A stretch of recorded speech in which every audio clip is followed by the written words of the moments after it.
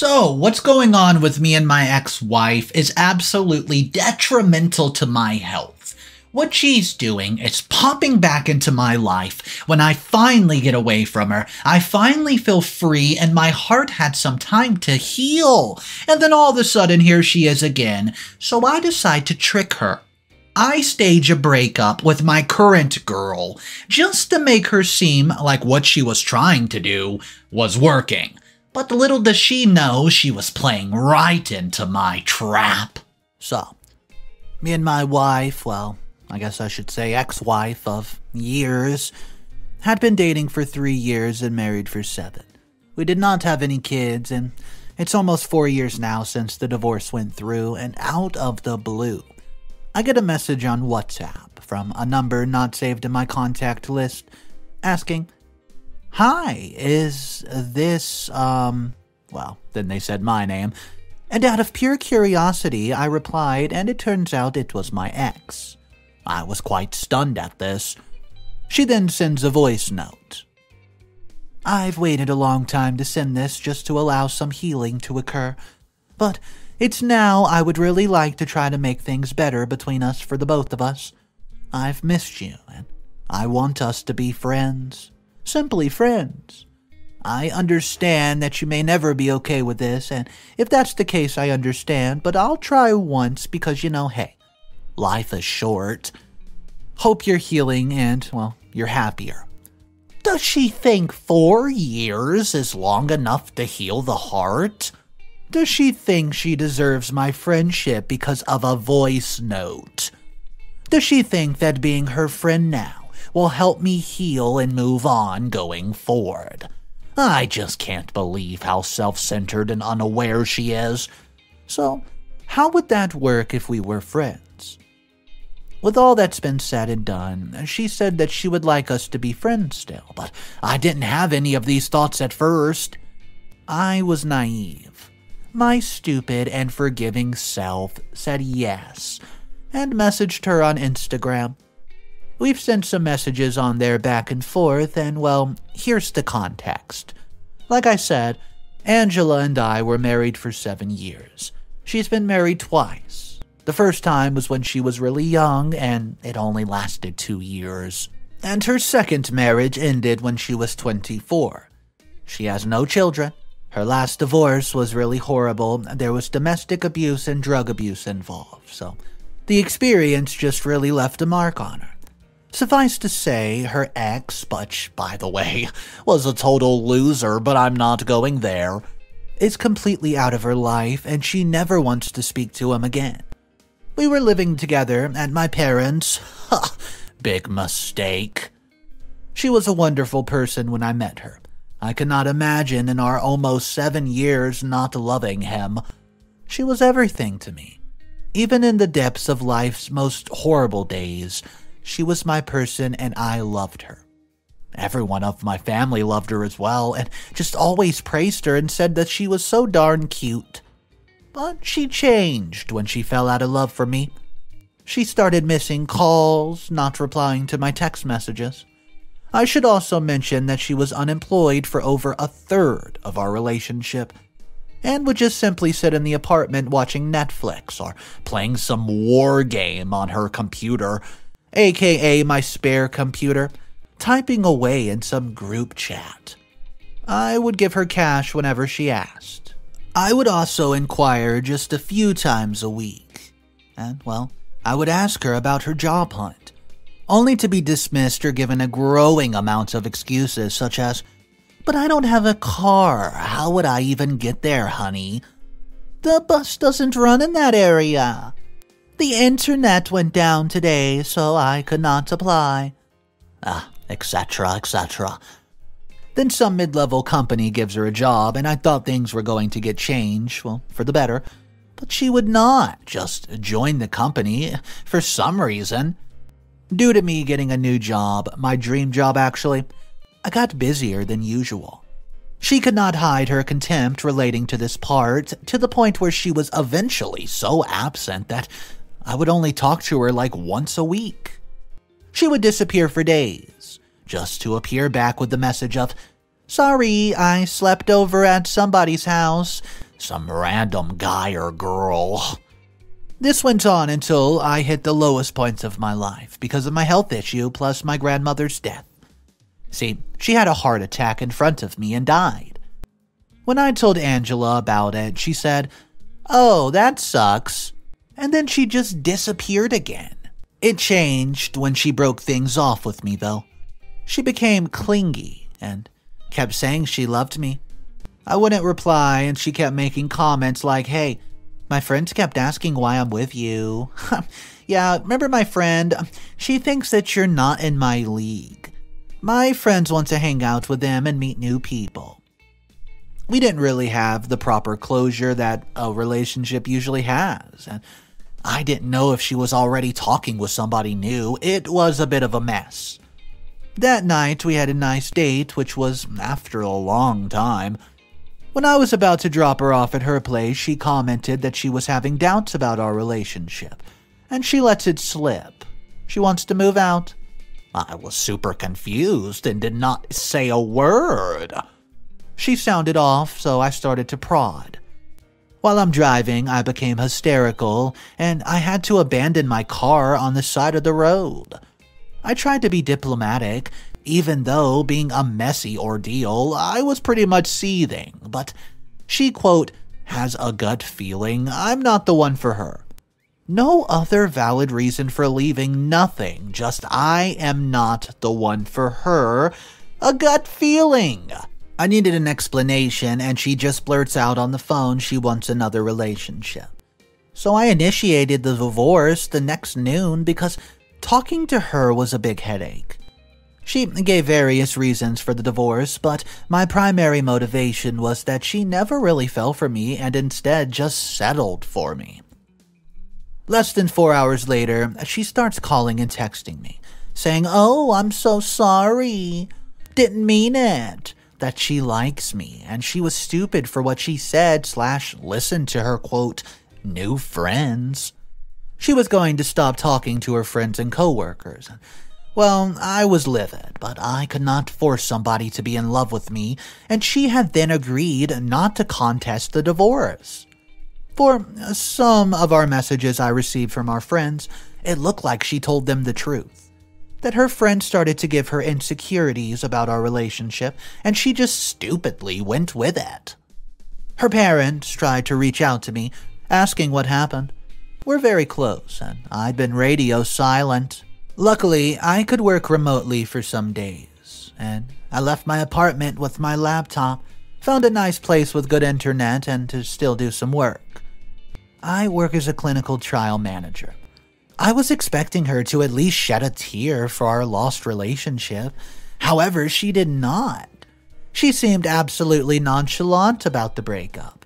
But the only thing that kept just troubling me is the fact how she got over our relationship so darn easily. I never felt that her feelings for me were fake. Now, I question myself were they? As one just cannot switch from one partner to another so easily, right? Hypothetically, if I had to get married to somebody else, leaving her behind, I would have for sure had a long conversation with her, making sure to end our relationship on the best note possible. She had a Disney idea of love as a magical spark of passion that never dies or requires maintenance. She's never been in a serious relationship other than ours and suffered religious emotional abuse in her upbringing and continues to have a deeply dishonest relationship with her parents and most of her family. I held her hand through learning about relationships and committed love and a great deal more. She needed the lived experience of relationship reality in order to commit to the hard work that, quote, us required. But Despite knowing all that intellectually, it was still incredibly hard to accept on an emotional level. But then I had a breakthrough. I was beginning to wane off the addicted neurochemicals and hopeless romanticism that had me putting her on a pedestal, and revising my memories of our life altogether. Now that I've taken a more sober look at her flaws, and how much more I invested in the relationship than she did, how much more supportive I was, how much more loving, My cousin is a family court lawyer and basically raked her over the coals.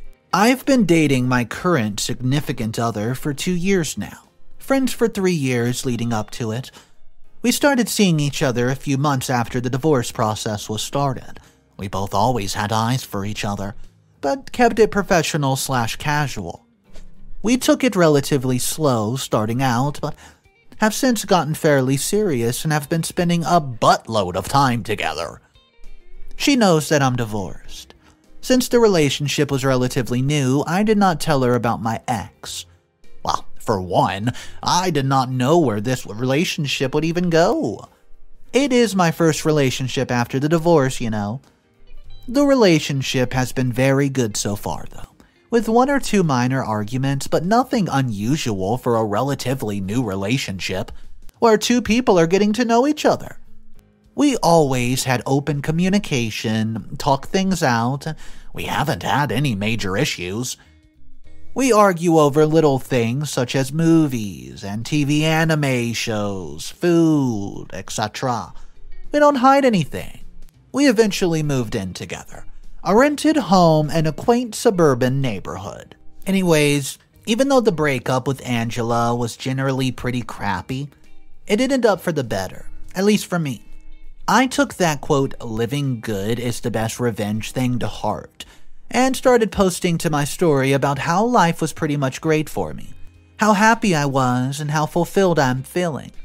It's true that this is what my life feels like right now, but to be honest, I started bragging about how great life is just to get back at my ex. See, basically, I've been flexing on her for a few weeks now about how life is so much better without her. Me and Emily are the iconic couple, according to our social group.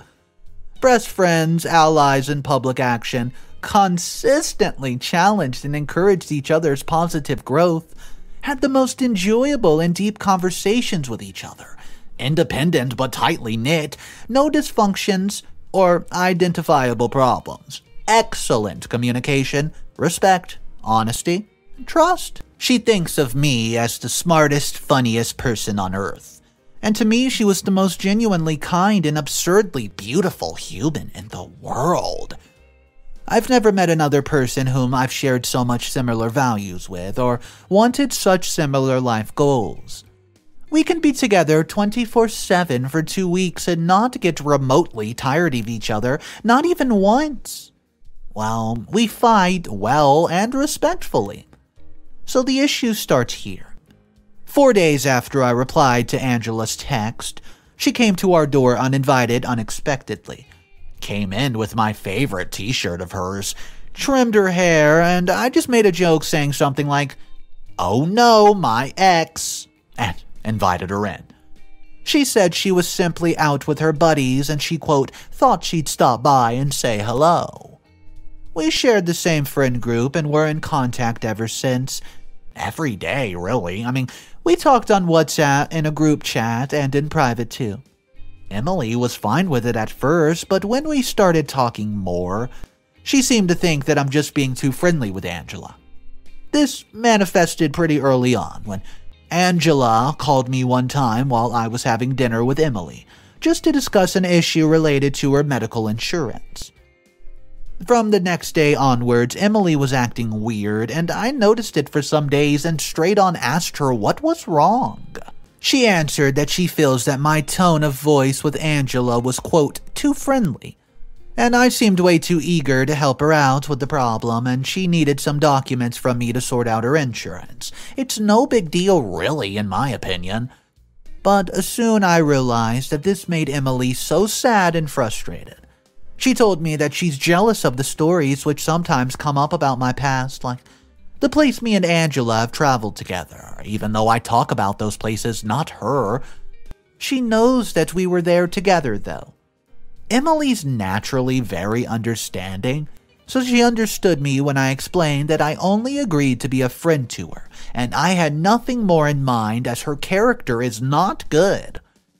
But Angela soon contacted Emily on Facebook and sent her a screenshot from before, or possibly during the early part of our divorce and getting to know one another stage, where I told my ex I would take her back.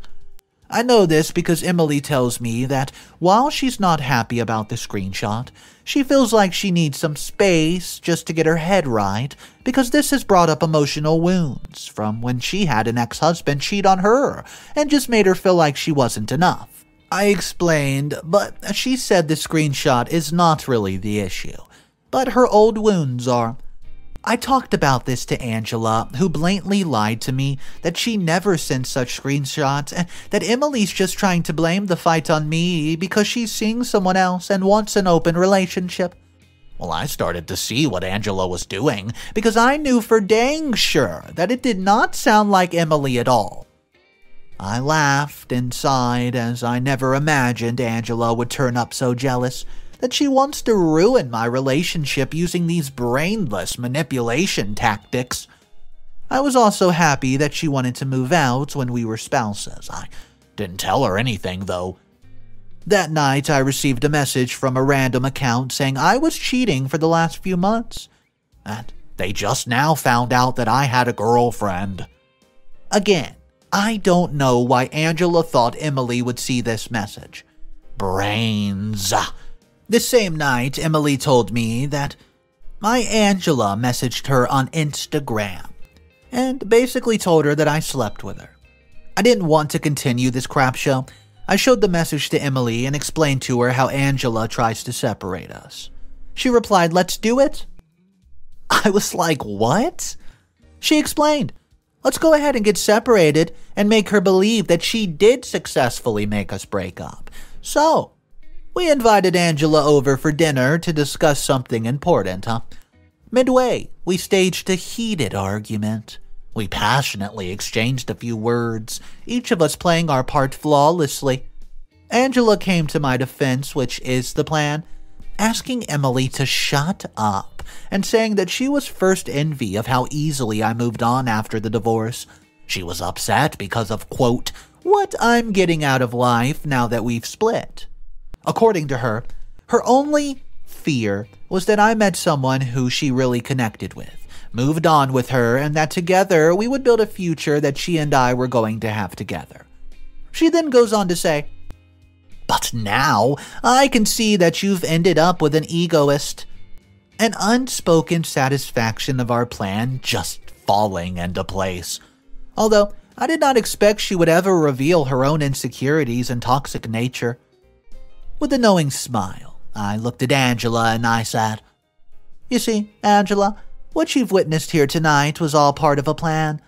This, see, it was meant to show that we're stronger than your deceit. Now I want a clean break, meaning I want you out of the family picture for good. Wait a second. You mean this was all staged? Why? She stumbled over her words, attempting to comprehend the situation at hand.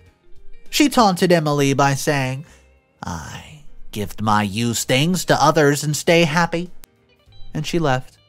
Getting her message has just dredged everything back up, and it's a total head duck that I totally did not need right now. For the life of me, I could not see what her motivation was here until the dinner. The humiliation seems necessary, right? We simply made a choice to put the hurt from the divorce behind us by being friends. But now I've seen her true face. Because all her sweet words might be just telling me what I want to hear, or needing to believe it herself. Her action is all that really matters. And her action is that she left, and wants me to be unhappy all my life. I don't want to live in the past. While I'm grateful for my ex for the good times, Things just got overly toxic towards the end, and I'm happy and grateful I found Emily. I didn't think I'd ever fall in love again, especially not to the degree that I would have been almost willing to take the plunge again. You see, I know no one plans to be a second wife, especially when it's their first marriage, but I think I will be a good spouse to her. My first marriage was kind of long, but it ended badly. She left me ruined. Update number one. Hey guys, I just want to thank everybody for your support and words of encouragement. There's been a lot of great advice in the first post, and I can't thank you enough. Unfortunately, Angela has continued to harass us both with tirades of nonstop phone calls. She frequently insults Emily with fat comments, calling her Queen Chlamydia. Her ex husband messed around, gave it to her years ago, and so many other words homewrecker, you name it. Oh, stupid, fake play wife, etc. I have many audio recordings and I don't interact with her at all. 99.9% of the time. For reference, she fits in normal standards and, well, she keeps calling Emily my babysitter and demanding to know why she's always around. Calls her some heinous things in front of people all the time. She's even attempted to come at her a few times just to intimidate or provoke a confrontation. She's not engaged her or put herself out there for it. She uses others' money and sympathy, very narcissistic in nature. She literally wigs out without being provoked about how I have Emily and how she has nobody and how I have everything. She just lays it out as if I left her in the ditches. She wanted to move out on her accord, yet it's my fault. She's just jealous that after a divorce, she did not get any partner, whereas I got the perfect one. The other day, my boss sent me an urgent message asking if we could do a Zoom meeting. You see, I accepted. When his picture came up, there were two cops behind him. Apparently, someone they would not name asked them to do a wellness check on me. They tried my apartment, but nobody was there. Did my work. I wasn't there. My boss knew I was actively working remotely and just called me. While I had to explain the situation that I was alright, just had my phone off due to a bit of drama. She posted a story, but in a way that made me out to be a toxic villain. The story appeared on a popular page of a website and was also on a friend's TikTok page that went viral. It wasn't hard to identify myself because I recognized the dress and she also used my real name in the story. You see, I don't understand why she's doing this because we had been civil with each other until now. The lady needs to be in a mental health care facility. See, she will type walls of text and emails over emails over emails like she finally goes to a job, even saying nasty crap over a recorded work line. If I knew it would not cause her issues, I would have reported her to the violating the employee code of conduct already. It's frustrating.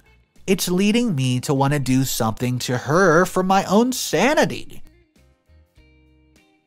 Update number two. Hey guys, there's a lot of comments here suggesting that I'm just stupid or naive, a doormat for letting her off easily, but guys, I won't lie. I think you all might be right. I do believe in taking the high road on most occasions, but I don't think this should be one of those times. As a side note, I don't believe that wanting to see the best in people makes you naive. For the update, me and Emily are going to get married in a couple of weeks so that Angela stops bothering us. I would think some significant time has passed for us to not make the mistake again or act on impulse. I did it all Church wedding, reception, weekend party, bachelor party, you name it. Yeah, it was a lot of fun, but I don't need that again. Even though she did not have the full experience, she doesn't want to do the process over again. We're just going to go down and do that old court hearing, quick and simple. I just needed to go on the website with some limits to make an appointment, then go with Emily and our IDs to get the license. That's the plan. I'm also supposed to, well, go to Angela's parents' house tonight. Like I said in the main post, her parents and I get along a whole awful lot, and I've still been in keeping contact with them on occasion. His mom's checked in on me a few times to see how I was handling everything. I'm friends with her on Facebook, saw that they were building a new shooting range on their rural property, commented that it looked good. They said that they'll be in town soon and they're trying to make plans to meet up with me. I know that they don't have hope of us getting back together because I've told everything she's done to me and Emily. Obviously, my ex would not be there. Probably would not even hear about it, to be honest, and one of my friends told me she knows Kara. My colleague has been updating Angela about us for many months now because she brought it up to him once that she felt bad doing this behind her back. Well, I was furious when I confronted Kara about it, let me tell ya. She showed me all their messages, and none of it was saying where we live or pictures of us, but telling her what we're up to, you know, which is what we're doing. Update number three. Hey guys. See, I did not have a meeting last night. I rescheduled for the day after tomorrow, which is a Friday. Angela and I did not see each other again just recently at this friend's baby shower. Well, I noticed she was there with some guy, and she actually approached me like 10 minutes later by the bathroom in the house. She asked me if I could leave because she's with her boyfriend, and it's just awkward with both of us there at the party. But like I have not even approached them at all, so why would it be awkward if we don't interact at all? She wasn't letting it go. She actually told me, please, it's complicated. I told her if her boyfriend doesn't know that we have a history, then he won't need to, because I honestly don't care. All I'm doing is being here, celebrating one of my close friends' day, so if she leaves me alone, I'll leave her alone. Well, that did not end up being the case. They left not even an hour later. I kept my word, though, about not going near them, but one of my friends told me her boyfriend saw me, and for whatever reason, they started arguing. It wasn't subtle either. They went to the front of the house, but you could still hear what sounded like them raising their voice at each other. And a few minutes later, I saw her walking to my friend, probably telling her bye. But she definitely looked right at me. After that, she looked mad. Everybody at the party was confused after, so they were all talking about it for literally the rest of the time. She called me since I never changed my number, and she told me thanks for ruining a party, when all this could have been just avoided. I asked her what could have been avoided, but again she doesn't tell me. She, see, just thinks it's all my fault for whatever went down. The whole party was meant for my friend, and it was turned into some drama, just because I would not leave, even if it was for some unknown reason. I don't know what to think now or why it was such a big deal that we were at the same party when neither of us even talked at all. You see, I'm just trying my hardest to reason with a 37 year old woman about what a problem is, and I've reached my limit. I hung up within a second and called her father. Poor guy was pleasant as a peach, happy to hear from me, asking how the winter is treating us in Pennsylvania. I had to cut through the pleasantries and let him know his daughter keeps committing, uh, crimes and bothering us in public. He tells me that he'll talk to her. I apologize for dragging him into this and promise to catch up during Friday. Anyways, I just wanted to say that planning my wedding has been like 5% stress, 95% happiness, and rainbow unicorns of awesomeness. Not even kidding. I've been amazed at how enjoyable the whole thing has been for me.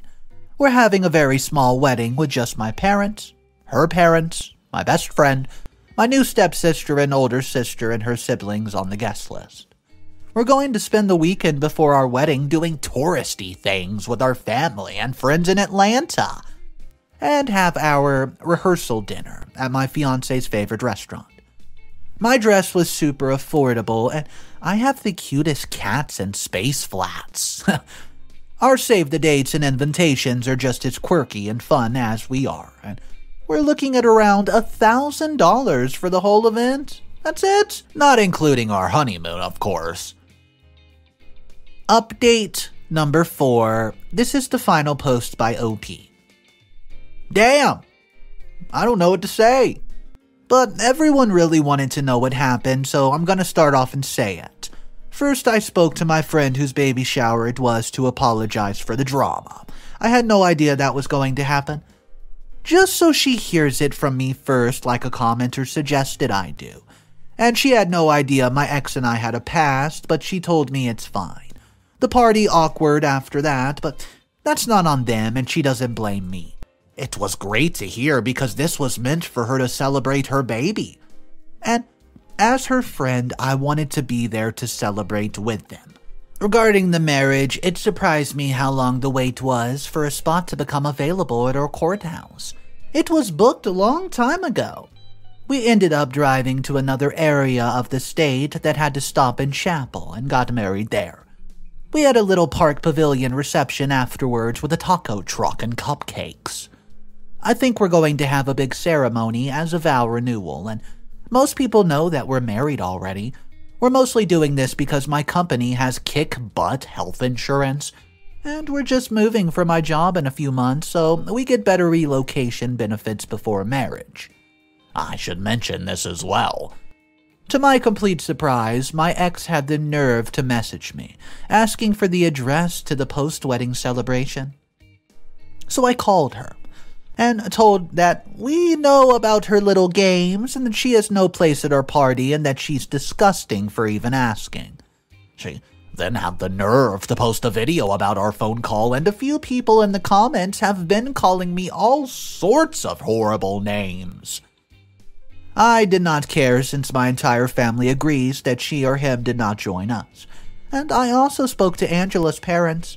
Apparently, Angela got fired at the job, and I don't know how much about it, but she's staying with her parents now. They uh, told me that they had a huge conversation a few days back, and I was told the details. Her father told her, and I quote, I think you are fickle. People are out of sight and out of mind for you, and I guess I'd stay single for a while. While her brother, who's been home with her, mentioned to him that what matters is she's happy. To which the mother says, Well, Sometimes you have to think of the other person, and has mentioned feeling bad for me a few times. It seems there is no response from her. Her lack of empathy for me, or for anybody else for that matter. I know I chose divorce, but it was really still a very hard and sad decision. It's upsetting me, and the biggest red flag that I missed was immediately after I proposed, she said, Are you sure? Cause I'm crazy. Then we laughed. This is a bit truth behind most humor. She isn't mentally ill. What does that really mean in any sort of constructive sense, anyways? She masked or minimized a lot of issues she deals with at first and became dependent and broke up with me, and then emotionally abused me towards Emily. I feel like she knew how to mask her symptoms well. Anyways, I want to give a huge thank you to all the supportive comments and messages. I only saw most of the direct messages recently. Thank you. Alright, so what we just witnessed was an absolute crap show. I'm talking about was this dramatic enough? Because the comment section was saying how OP went a bit too far, staging all this just to embarrass his ex. He should have just kept contact cut, never let her come back into the into the story. But the thing about it is, Everybody was calling him a doormat, a floor mat, whatever you want to call it, that's what he was. So I want to know your opinion. Do you think OP of the story was nothing more than a giant floor mat to his ex wife, and it was really hurting his relationship in current time? Okay, let's talk about it in the comment section, guys. Drop it down below. My name's Mr. Reddito. If you're new to the channel, welcome. I narrate stories every single day, then animate them as well. If that sounds like something you're into, make sure you subscribe for daily videos, and I'll see you guys in the next one. I'll see ya!